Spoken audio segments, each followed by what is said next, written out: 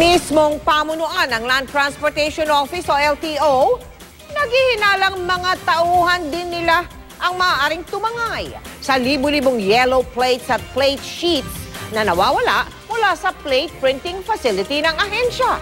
Inulat daw na nawawala ang mga plaka ilang araw lang matapos ipag-utos ang inventaryo ng mga plaka sa loob ng pasilidad. Nakatutok si Chino Gaston.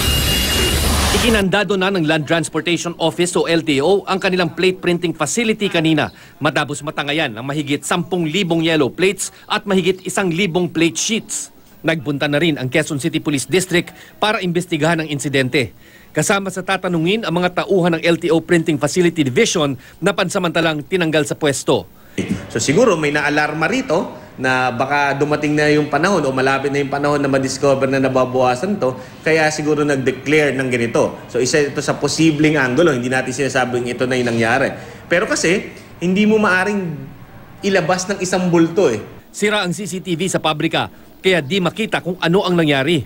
Dito dati iniimprenta ang mga plaka ng sasakyan bago pinili ng LTO na kumuha na lamang ng private supplier dahil di na raw kaya ng mga makina na tugunan ang dami ng plakang kailangan sa plate standardization project. Layo ng proyekto, napalitan ang mga lumang plaka ng makabagong disenyo. Sa ngayon, replacement plates lang ang iniimprenta dito. Nangyari ang nakawan sa gitna ng pagkakaipit ng plate standardization project ng LTO dahil sa disallowance ng Commission on Audit sa ipinasok na 3.8 billion peso contract sa kumpanyang JKI PPI. Ang resulta, wala pa ring bagong plaka ang mga nagbayad na ng replacement fee. Lahat daw ng mga lumang plaka ng mga sasakyan, yung mga green plate at yung mga yellow plate naman para sa mga pampublikong sasakyan ay inimprenta gamit ang mga makinang ito na matatagpuan sa LTO headquarters sa Quezon City. Kung kaya't ang tanong natin ngayon sa LTO, gayong nakikwestiyon ang kontrata sa private plate supplier, bakit hindi muna gamitin ang mga makinang ito para unti-unting makapaglabas ng mga plaka at kahit na papano'y mabawasan ang bilang ng mga motoristang taon na ang binibilang sa kahihintay ng kanilang mga license plates. Hinala ng Land Transportation and Franchising Board o LTFRB, tinarget talaga ang mga yellow plates ng mga sindikato.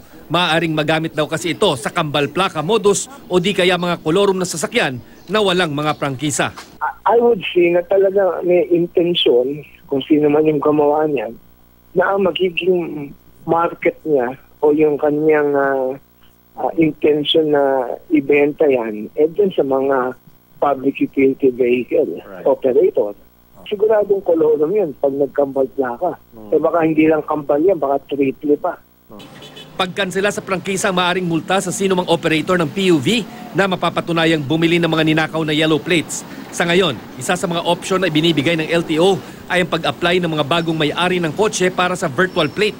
Sa mga mag apply mag assign na ang LTO ng plate number at maaaring iimprenta na muna ito ng may-ari ng sasakyan habang wala pa ang mismong plaka. Chino Gaston nakatutok, 24 oras.